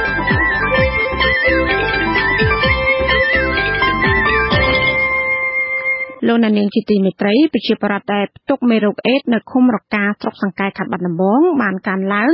ដល់ចំនួន238នាក់ហើយគិតត្រឹមថ្ងៃទី14ខែមករាឆ្នាំ2015ក្នុងនោះគឺមានគ្រួសារដ៏ធំមួយ បានទៅធ្វើតេស្តឈាមហើយឃើញមានមេរោគអេដរហូតដល់ទៅចំនួន16នាក់ ចារួមមានម្ដាយកូនបង្កើត កូនប្រសានិងចៅព្រមទាំងកូនតូចតូចអាយុ6ខែម្នាក់ផង ចាប់តាំងពីដឹងថាមានមេរោគអេដនេះមក ពួកគេមានអារម្មណ៍រវើរវាយនិងបោះបង់ការងារដោយមិនខ្វល់ពីការធ្វើស្រែចម្ការដូចពេលមុននោះឡើយចាលោកហ៊ុំចម្រើនដែលបានចុះទៅយកព័ត៌មានផ្ទាល់ពីស្ថានភាពគ្រួសារនោះមានសេចក្តីរាយការណ៍ដូចតទៅស្ថិតនៅភូមិរកាឃុំរកាក្រុមគ្រួសារដ៏ធំនេះ មានកូនចៅស្ទើរទាំងអស់រស់នៅផ្ទះក្បែរខាងជាប់គ្នាបើទោះជាមានកូនចៅហើយក៏ដោយក្រុមគ្រួសារមួយនេះមានម្ដាយនិងឪពុកធំរស់នៅជុំគ្នាហើយអ្នកទាំងពីរមានអាយុប្រមាណជិត80ឆ្នាំទៅហើយនៅពេលអ្នកយកព័ត៌មានវិទ្យុអាស៊ីសេរីធ្វើដំណើរចូលទៅដល់ផ្ទះគ្រួសារនេះភ្លាមឪពុកនិងម្ដាយធំព្រមទាំងសមាជិកគ្រួសារមានចាស់មានក្មេងមួយចំនួនផងខណៈអង្គុយជុំគ្នានៅលើគ្រែសំយ៉ាផ្ទះដែលមានដំបូលប្រក់ស័ង្កសី ជញ្ជាំងធ្វើពីឈើស្លេកពណ៌អស់ទៅហើយនោះបានងាកមកស្វាគមន៍យើងក្នុងទឹកមុខស្រងោតស្រងាត់ជម្រាបសួរអ៊ំអង្គុយសុខសប្បាយទេបាទសុខសប្បាយអឺសុខសប្បាយទេមានមានរោគធ្វើស្រែធ្វើភ្លឺខ្លះទេអ៊ំអឺបញ្ហាអូសុំមួយចោលអស់ហើយចោលអស់បងឲ្យស្វាមិនកើតមានលិចផងហើយកកលិចខ្លាំងមុនលិចឆ្នាំកកទៅ មានទេគ្រូមានបានអីបានអីចឹងបាទធ្វើមិនបានឆ្នាំនេះចោលតែទេមកលោកយាយដែលជាម្ដាយធំវ័យ78ឆ្នាំនិងមានផ្ទុកមេរោគអេដផងមាត់ទំពាមលូបណ្ដើមានប្រសាសន៍បណ្ដើខណៈអង្គុយនៅលើគ្រែសម្រាប់ផ្ទះថាសមាជិកក្រុមគ្រួសារដែលទៅធ្វើតេស្តឈាមនៅមណ្ឌលសុខភាពរកាស្រុកសង្កែខេត្តបាត់ដំបងមានផ្ទុកមេរោគអេដចំនួន16នាក់ក្នុងចំណោមសមាជិកជាង50នាក់ ក្នុងនោះមានកូនបង្កើត កូនប្រសា និងចៅផង រួមមានមនុស្សចាស់ចំនួន10នាក់ និងកុមារ6នាក់ ក្នុងចំណោមកុមារមានកូនតូចអាយុ6ខែម្នាក់ដែរតែកូនចៅមិនមែនកូនទាំងអស់ទេណាចៅផងអញ្ចឹងកូនប្រសាកូនបកើតកូនបកើតប្រហែលអ្នកអឺឪ 6កូនបកើតបកើតនឹង6វាមិនបានចៅផងអីផងហ្នឹងបានកើតអស់តែ6ដល់10អ្នកហ្នឹងឯងបាទ6ដល់10អ្នកហ្នឹងក្នុងនោះមានកុមារទូចទេអ៊ំទូច6ខែនោះ1ខែនឹង1អា5ដល់10នោះ1ពួកគាត់ថ្លែងក្នុងទឹកមុខស្រពោនថាកន្លងមកធ្លាប់មានប្រវត្តិចាក់ថ្នាំបន្តោងសេរ៉ូមព្យាបាលជំងឺជាមួយគ្រូពេទ្យប្រចាំភូមិម្នាក់ឈ្មោះលោកយ៉ែមជ្រិនតែមិននឹកស្មានថាបន្ទាប់ពីព្យាបាលហើយបែរជាមានមេរោគដែលមិនធ្លាប់ជួបប្រទះដូច្នោះឡើយ ទោះជាយ៉ាងនេះក្តីពួកគាត់សុទ្ធតែអះអាងដូចគ្នាថាការចាក់ថ្នាំជាមួយគ្រូពេទ្យនោះគឺមិនបានប្រើមជុលឬសឺរ៉ាំងចាក់ថ្នាំរួមគ្នានោះទេកូនខ្ញុំចាក់ដបងមកម្ជុលចាក់ផ្ទះមេខ្ញុំមួយដបងណាលើក្រោយទៀតចាក់2លើក្រោយទៀត4 4ទៅពេលចូលឈាមមានមេរោគចាក់មជុលថ្មីឬមជុលចាស់មជុលថ្មីស្រាងថ្មីខ្ញុំឃើញគាត់ហាច់បងថ្មី ចាក់យូរនៅយូរហើយចឹងពីខែ7រហូតដល់ខែ9ចាក់មករបូតចាក់មកម្ជុលដៃមកម្ជុលតាគៀកក៏គាត់ហាច់ផ្សេងដែរมันមានគាត់លោកសឡំយកពីណាពីណីទេគឺហាច់មុខយើងហ្មងកាលហ្នឹងអាកូននោះគ្រូនឈាមគ្រូនពវៀនហើយដល់ម្ដាយដល់ពួនហ្នឹងហ្នឹងឆ្លងតលេចាក់ថ្នាំចាក់ប្រមាណមជុលបាទមកវាហ្នឹងចាក់60មជុលកូនហ្នឹងដាក់សេរ៉ូមមានមីបងគេនោះដាក់8អាមីកូនតូចមិនចាក់ទេប៉ុន្តែចាក់អាកូនធំធំដាក់ម្នាក់7 8កផ្លោកម្នាក់7 8កផ្លោកទាំងអស់កូន3ដែលចាក់ហ្នឹងចាក់ថ្ងៃជាមួយគ្នាមិនអត់ទេផ្សេងផ្សេងនេះហ្នឹងគ្រូផ្សេងផ្សេងនេះទាំងអស់ព្រោះខ្ញុំឈឺប្រហែលជាមួយខែដល់ខែក្រោយខ្ញុំឈឺអញ្ចឹងណាអត់មានចាក់លោកច្រឡំរួមគ្នាទេអត់ទេអរេតារាងថ្មីទាំងអស់ហើយក្រោមគេហើយផងគេផ្លុំបេចិត្តទេហើយទាំងមកជុលទាំងតារាងនឹងមានតែជាប់គ្នាទាំងអស់មកគ្រូខ្ញុំចាក់ពីដល់បតោ8ចាក់ជំងឺអីកាលហ្នឹងគ្រុនពវីនគ្រុនឈាមគាត់ចាក់ហ្នឹងគាត់យកមកជួលយ៉ាងម៉េចមកចាក់មកជួលគាត់ចាក់ហ្នឹងគាត់ហែកចេញពីច្រោមមកបាទខ្ញុំគ្រុនពវីនតោងច្រោមអស់5 10កផ្លោកហើយកតោងហ្នឹងគាត់ដាក់យ៉ាងម៉េចទៅគាត់ចាក់កន្លែងខ្សែយើងនេះមុនដំបូងគាត់ជួលចេញពីកំពតមកគាត់ហែកអាអាថងស្រោបហ្នឹងហែកហែកទៅគាត់ជួលគាត់ចាក់ទៅមុនដំបូងមកជួលដែកជួលដែកក៏ដកអំជួលដែកនោះសល់មកជួលទួននោះពួកគាត់ថ្លែងក្នុងទឹកមុខក្រៀមក្រំទៀតថាបន្ទាប់ពីដឹងថាសមាជិកមានផ្ទុកមេរោគអេដក្នុងខ្លួនភ្លាមគឺម្នាក់ម្នាក់ដែលជាឪពុកម្ដាយ រវើរវាយបាត់បង់អស់ស្មារតីហើយព្រួយបារម្ភយ៉ាងខ្លាំងចំពោះអនាគតរបស់កូនចៅមិនដឹងទៅជាយ៉ាងណានោះទេ បើដឹងតែកើតរោគនឹងមកអស់រំក្នុងខ្លួនហើយប្រឹងរស់នឹងបដគ្រូហើយលេបអាឆ្នាំនឹងយប់ឡើងនឹងក៏គ្មានដឹងស្អីដែរលវលវាអស់លេងនេះរំដានដងអស់លេងមានអីទៀតអស់វាគូណាស់ថាបាក់ក្នុងចិត្តណាគ្រូបាក់ក្នុងចិត្តមែនតែនថារស់អីខ្លែងមិនបានហើយណាមួយឃើញមិននឹកឃើញម្ដាយចាស់ពុកចាស់ហើយអនាគតទៅមុខទៅមិនដឹងយ៉ាងណាអាខ្លួនឯងក៏កើតរោគអញ្ចឹងមានណាមើលណាគ្រូ យំដូចហ៊ីខ្ញុំហើមភ្នែកអស់ហើយបងដាច់ខ្យល់កូនខ្ញុំដែលវាថាតែវាងាប់ផងត្រឡប់យំចេះភ័យចេះព្រួយអូនហើយទាំងខ្ញុំទាំងអីចុះកូនវាបន្ទុកមេរោគច្រើនពេកហើយវាយំមិនមិនដឹងថាងាប់មិនដឹងថារស់ណាថាណាអូនហើយមិនសល់ថាមិនសល់អីមួយមើលក៏ដូចតែអ្នកចាក់ទាំងអស់នឹងកើតទាំងអស់គ្រួសារនេះជាប្រជាកសិករក្រីក្ររស់នៅពឹងផ្អែកទៅលើរបរធ្វើស្រែចម្ការ នៅទីជនបទដាច់ស្រយាល ក្រោយពីធ្វើតេស្តឈាមដឹងថាមានផ្ទុកមេរោគអេដពួកគាត់ធ្លាក់ទឹកចិត្តយ៉ាងខ្លាំងគ្មានស្មារតីរឹងប៉ឹងដូចមុនហើយអះអាងថាបានបោះបង់ការងារធ្វើស្រែរាប់ហិកតាបណ្ដាលឲ្យខូចអស់គ្មានសល់ពួកគាត់បញ្ជាក់ថាក្នុងចំណោមអ្នកផ្ទុកមេរោគអេដទាំង16នាក់នោះពុំមាននរណាម្នាក់ធ្លាប់មានប្រវត្តិទៅធ្វើការនៅប្រទេសថៃឡើយលោកយាយមានប្រសាសន៍ទៀតថាសមាជិកក្នុងក្រុមគ្រួសារទាំងអស់ជាមនុស្សស្អាតស្អំមិនធ្លាប់មានប្រវត្តិទៅប៉ះពាល់អ្នកផ្ទុកមេរោគអេដពីមុនមកនោះទេ កូនខ្ញុំដូចជាពុតក្នុងផ្នត់បាត់តែប្រុសមែនប៉ិនកូនខ្ញុំមិនដែលទេអូនមិនដែលទៅលេងសើចណាណៃកូនប្រសាកូនបកកើតទាំងអស់មិនដែលចិត្តតកាឲ្យរៀបក្រាបក្បាលដល់កន្ទេលទាំងអស់អត់មានទេដែលខូចទៅខលទេអត់ទៅដល់ស្រែនឹងឯងដល់មកកើតអញ្ចឹងទៅមិនដឹងថាល្មិចសប្ថ្ងៃគ្រួសារនេះមានអ្នកទុកមេរោគអេដចំនួន9នាក់ហើយដែលកំពុងលេបថ្នាំពន្យាជីវិតនោះ ពួកគាត់បញ្ជាក់ថាគ្រូពេទ្យឲ្យពួកគាត់ទៅទទួលថ្នាំពន្យាជីវិតជាប្រចាំរៀងរាល់2សប្តាហ៍ម្ដងបានបើ9នាក់ទាំងអស់គ្នាហ្នឹងហើយពេទ្យគេថាមិនដែរថ្នាំពជាអូថ្នាំពជាហ្នឹងគេឲ្យពជាមកជីវិតហ្មងគ្រូបាទគេប្រាំខ្ញុំថាឲ្យទៅពេលណាអស់ទៅយកអស់ទៅបើកអស់ទៅយកអស់ទៅយកហ្មងអញ្ចឹងបាទគេឲ្យលេខមកជីវិតហ្មងអើប្អូនម៉ែហើយនឹងប្អូនទូចមួយទៀតអូទូចអាយុប៉ុន្មាន6ខែ អ៊ំបានថ្នាំលេបណាអ៊ំបានហើយបានហូបហើយថ្នាំអីគេនឹងថ្នាំអីថ្នាំពជាលគេហៅពជាលគេពជាលរោគមេរោគហ្នឹងប៉ិនក៏ឲ្យមកជីវិតថ្ងៃណាថ្ងៃទៅលេបអស់ហើយទៅយកអស់ហើយទៅយកអស់ហើយទៅយកអត់មានពេលទេឲ្យទុកមកក្របយកទៅទៅថ្ងៃហ្នឹងហើយមុំស្អែកនឹងអស់ត្រូវថ្ងៃហ្នឹងឲ្យទៅអ្នកផ្ទុកមេរោគអេដទាំង16នាក់នោះមានមនុស្ស2នាក់ធ្លាក់ខ្លួនឈឺក្នុងនោះមានលោកយាយជាម្ដាយធំម្នាក់ និងកូនតូចអាយុ6ខែម្នាក់ហើយកូនតូចកំពុងព្យាបាលជំងឺនៅមន្ទីរពេទ្យខេត្តបាត់ដំបងជំទប់ទី2ឃុំរកាលោកសឿមឆមមានប្រសាសន៍បញ្ជាក់ថាគ្រួសារដ៏ធំមួយនេះអ្នកផ្ទុកមេរោគអេដចំនួន16នាក់ក្នុងនោះមានម្នាក់ធ្វើតេស្តឈាមហើយមានមេរោគអេដតាំងពី2ខែមុនឆ្លងមេរោគអេដនៅឃុំរកាមកម្លេះ 15នាក់ដែលមានកូនសភៅហើយមានធ្វើតេស្តឈាមឃើញមេរោគនឹងនៅក្នុងខ្លួនវាគ្រប់គ្រាន់សម្រាប់គាត់ហើយឥឡូវកូនឈឺគាត់ទៅព្យាបាលនៅទីពេទ្យនឹងឯងដល់6ហ្នឹងដោយសារឈ្មោះចាស់មួយឈ្មោះចាស់មួយខ្ញុំអត់គាត់បញ្ចូលទេព្រោះឈ្មោះចាស់ខាងក្រសួងសុខាភិបាលមន្ទីរពេទ្យនឹងឯងហើយខាងហើយអង្គការ BFV ហ្នឹងគេគេឲ្យយើងដកចេញក្នុងគ្រួសារនេះយើងឃើញមានសិភៅបញ្ជាក់ពីគ្រូពេទ្យចំនួន11នាក់ ជាសិភៅសម្រាប់យកទៅបើកថ្នាំអ្នកផ្ទុកមេរោគអេដនៅមន្ទីរពេទ្យខេត្តបាត់ដំបងពួកគាត់ថ្លែងថាចំណែកឯសមាជិកចំនួន5នាក់ទៀតអ្នកខ្លះមិននៅផ្ទះហើយដាក់សៀវភៅជាប់ខ្លួននិងខ្លះទៀតទៅព្យាបាលជំងឺនៅមន្ទីរពេទ្យខេត្តបាត់ដំបងហើយជំទុកទី2ឃុំរកាលោកសឿមឆមមានប្រសាសន៍ថា ប្រជាពលរដ្ឋដែលធ្វើតេស្តឈាមនៅមណ្ឌលសុខភាពរកាមានមេរោគអេដបានកើនឡើងដល់ចំនួន238នាក់ហើយគិតត្រឹមថ្ងៃទី14មករាឆ្នាំ2015ក្នុងនោះមានភូមិចំនួន3រួមមានភូមិរកាអំបែងថ្ងានិងភូមិតាហែនឃុំរកាស្រុកសង្កែខេត្តបាត់ដំបងចាប់ពីថ្ងៃយុទ្ធនាការមណ្ឌលសុខភាពធ្វើយុទ្ធនាការមករហូតដល់ថ្ងៃទី14គឺវាមាន238នាក់ហើយ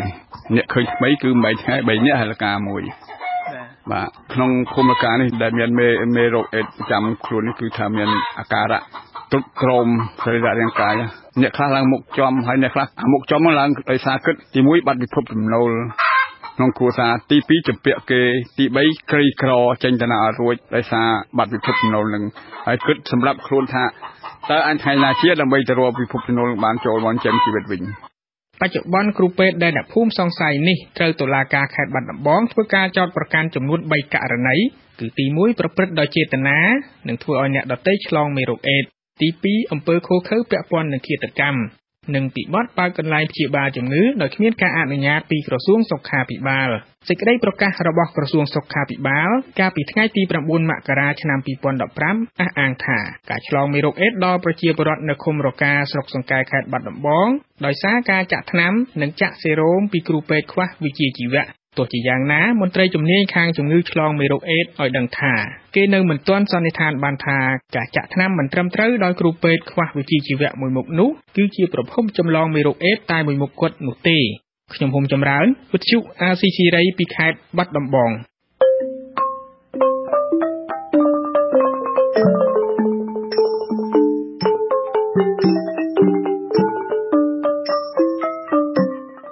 នេតិសាសនានិងសង្គមចាលោកណានីងជាទីមេត្រីសប្តាហ៍នេះគេសង្កេតឃើញថាភិក្ខុសង្ឃពុទ្ធសាសនា ក្រងស្បង់ជីវរដែលមានពណ៌ខុសប្លែកពីគ្នា ដូចជាពណ៌លឿងខ្ចីឬលឿងចាស់ពណ៌ទឹកក្រូចពណ៌ក្រហមក្រមៅនិងពណ៌ក្លឹមខ្នុរជាដើមតើពណ៌ណាមួយដែលត្រឹមត្រូវតាមពុទ្ធានុញ្ញាត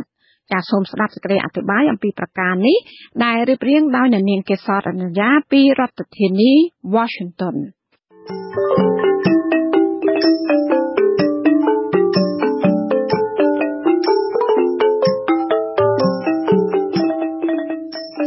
លោកអ្នកនាងកញ្ញាជាទីមេត្រីស្បង់ស្បៃត្រៃជីវរគឺជាគ្រឿងគ្របដណ្ដប់រាងកាយរបស់ភិក្ខុសង្ឃក្នុងពុទ្ធសាសនា ដែលរួមមានស្បង់ជីពោនិងសង្ឃាដី។នាសម័យពុទ្ធកាលដែលព្រះសម្មាសម្ពុទ្ធសមណគោតមទើបបានត្រាស់ដឹងថ្មីថ្មីព្រះអង្គទ្រង់អនុញ្ញាតឲ្យភិក្ខុប្រើប្រាស់តែជីវរឥតម្ចាស់ ពលគឺសម្ពុតដែលភិក្ខុបានដោយបាំងសកលយកពីគំនោសម្រាមឬពីព្រៃស្មោសាន មកប៉ះប៉ុនដេកភ្ជាប់គ្នាធ្វើជាត្រៃជីវរសម្រាប់ក្រាលក្រងត្រៃជីវរទាំងនោះគឺភិក្ខុសង្ឃលោកយកទៅជ្រលក់ពណ៌ទឹកអមចត់ដែលដាំរំងាស់ចម្រាញ់ចេញពីរុក្ខជាតិមានផ្កាឈើផ្លែឈើមើមឈើស្លឹកនិងសម្បកឈើជាដើម ដើម្បីឲ្យជីវរមានពណ៌ស្រគំមិនឆើតឆាយ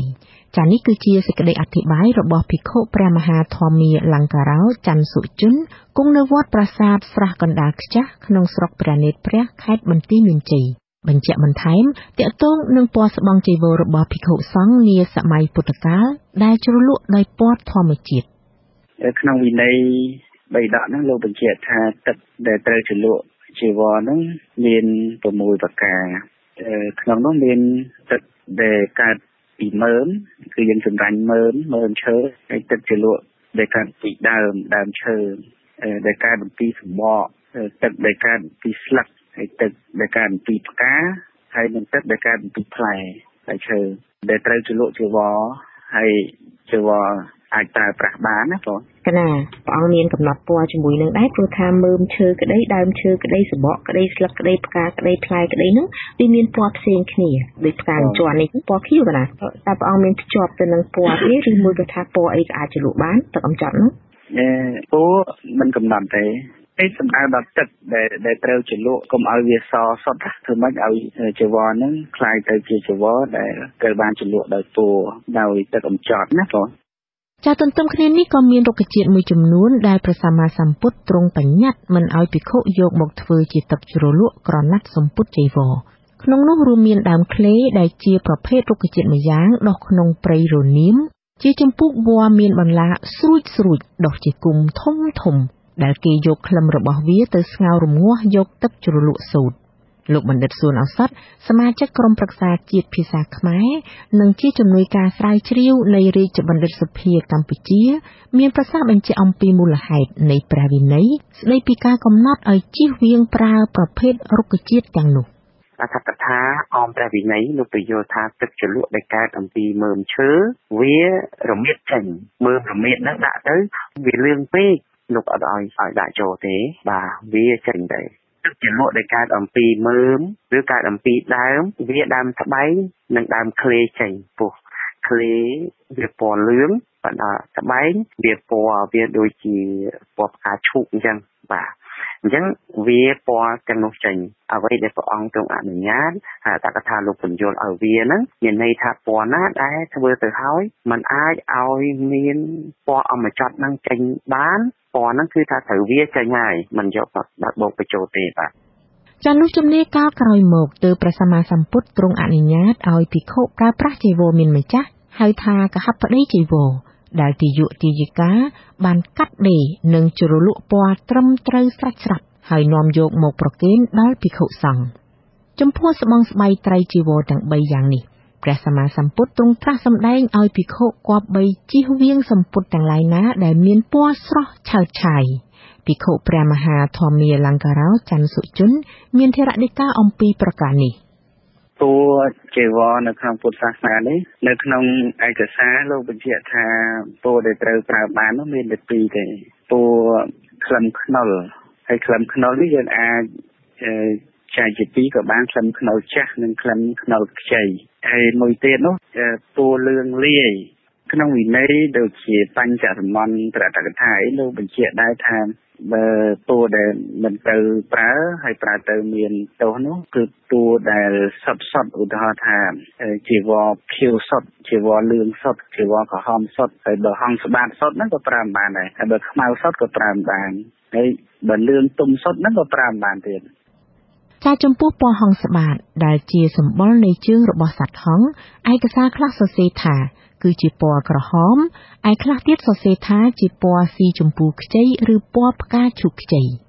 បច្ចុប្បន្ននេះនៅក្នុងប្រទេសកម្ពុជានិងនៅក្នុងប្រទេសកាន់ពុទ្ធសាសនាថេរវាទដទៃទៀតមានថៃឡាវភូមានិងសេរីលង្កាភិក្ខុសង្ឃគ្រងស្បង់ចីពោពណ៌ខុសប្លែកពីគ្នា លោកបណ្ឌិតសួនឱសថមានប្រសាសន៍បញ្ជាក់អំពីគោលចម្បងនៃពណ៌អមចត់មានចារឹកទុកក្នុងគម្ពីរដីកាផ្នែកវិន័យបិដកតាមពុទ្ធបញ្ញត្តិដែលជាប្រពៃណីនៃព្រះពុទ្ធគ្រប់ព្រះអង្គនាអតីតកាលជាប់រហូតដល់សប្តាហ៍ថ្ងៃនេះ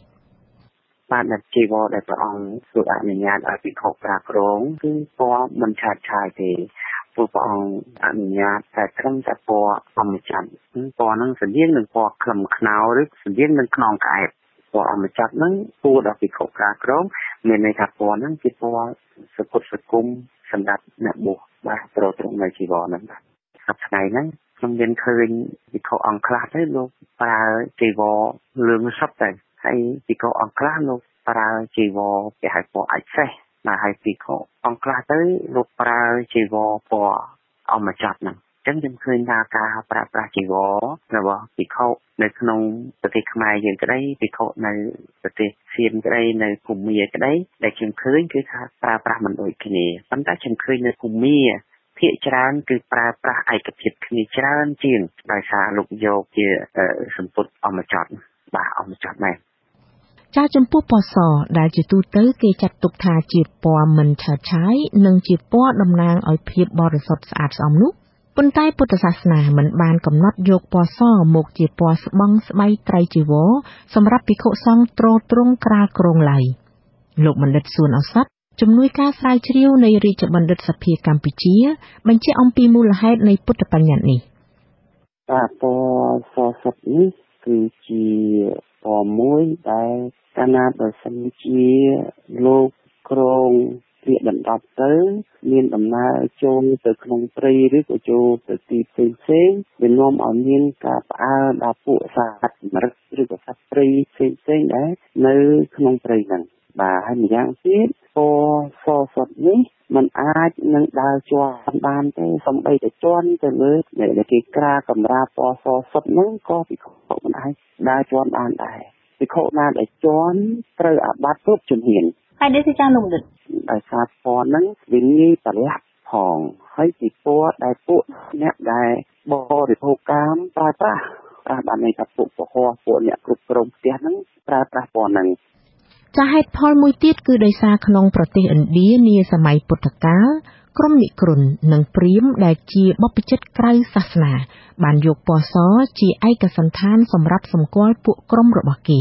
អាស្រ័យហេតុនេះទើបព្រះសម្មាសម្ពុទ្ធទ្រង់អនុញ្ញាតឲ្យភិក្ខុសង្ឃសាវកទ្រទ្រង់សម្ពុតកាសាវពណ៌ពោលគឺស្បង់ស្បៃត្រៃជីវរដែលមានពណ៌អមច័តដើម្បីជាលក្ខណៈពិសេសសម្គាល់ក្រុមគណៈនៃសាមណៈអ្នកបួសក្នុងពុទ្ធសាសនានាងខ្ញុំគិសារនីយ៉ាវិទ្យុអាស៊ីសេរីពីរដ្ឋធានី Washington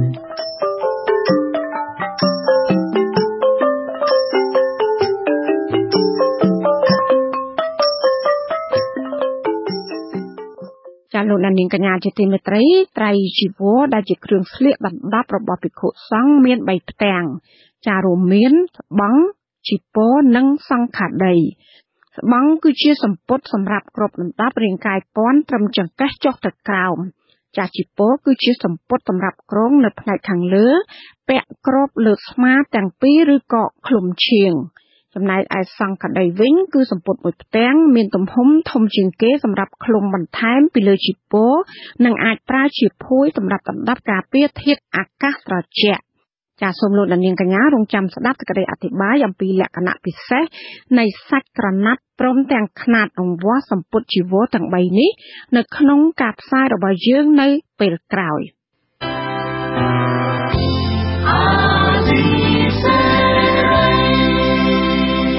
ជាបន្តទៅទៀតនេះនាងខ្ញុំម៉ៅសុធានីសូមជូនព័ត៌មានបញ្ចប់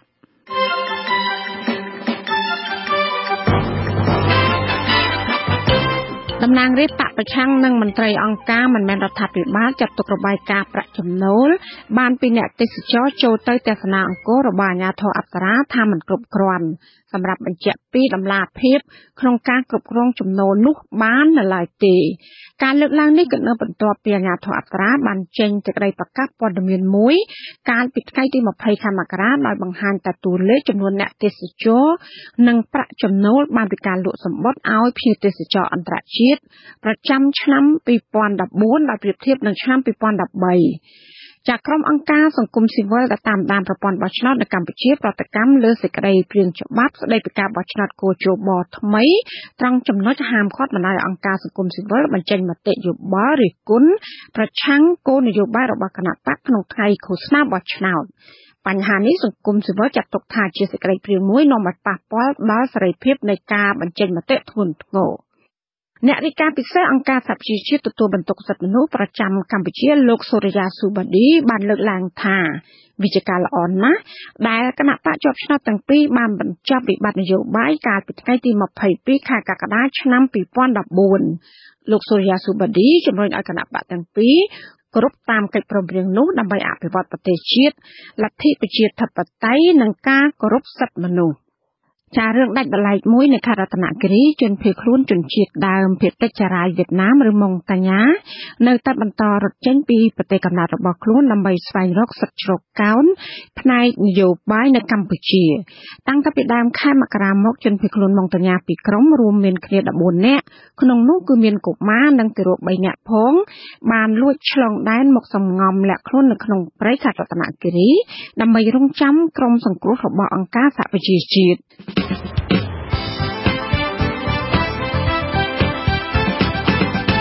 លោកអ្នកស្ដាប់ជាទីមេត្រីកម្មវិធីផ្សាយរយៈពេល1ម៉ោងនៃវិទ្យុអេស៊ីស្រីជាភាសាខ្មែរសម្រាប់ពេលនេះចាប់តែប៉ុណ្ណេះ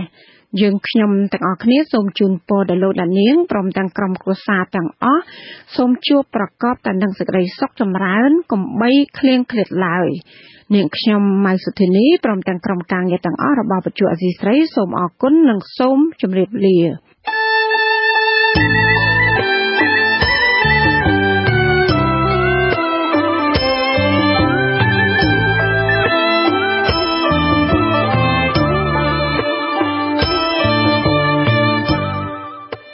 ទ្យុអេស៊ីសរ៉ៃផ្សាយតាមរយៈរលក ធាតុអាកាសខ្លីឬ shortwave តាមកម្រិតនិងកម្ពស់ដូចតទៅនេះពេលព្រឹកចាប់ពីម៉ោង5កន្លះដល់ម៉ោង6កន្លះម៉ោងនៅកម្ពុជាលោកអ្នកនាងនឹងអាចស្ដាប់វិទ្យុអេស៊ីសរ៉ៃតាមរយៈរលកធាតុអាកាសខ្លី11850 kHz ស្មើនឹងកម្ពស់ 25m ពេលយប់ចាប់ពីម៉ោង7កន្លះដល់ម៉ោង8កន្លះតាមរយៈរលកធាតុអាកាសខ្លី